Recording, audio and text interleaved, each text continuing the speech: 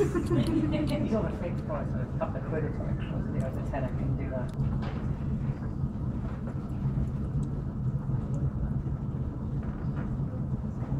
Where's he gonna go then?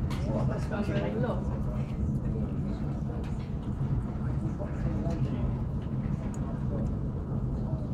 Now this guy's along with this petrol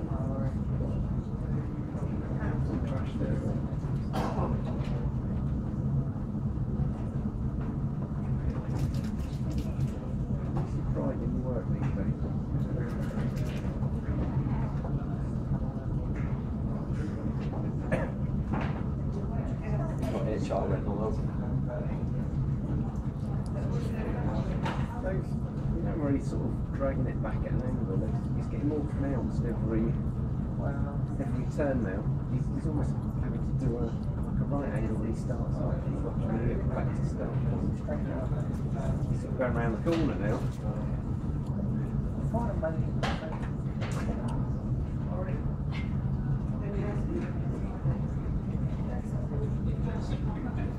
See if he's got a business card. what?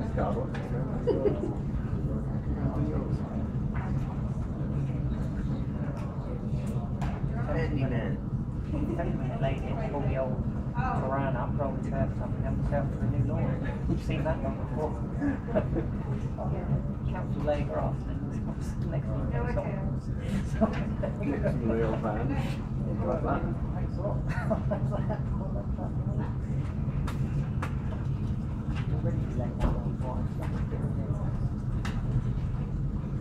He's really done the paintings nearly over. It's fine, it's in a half hour tea break then. Feral Springs, you know, it's a bit swag. Oh, done. Done.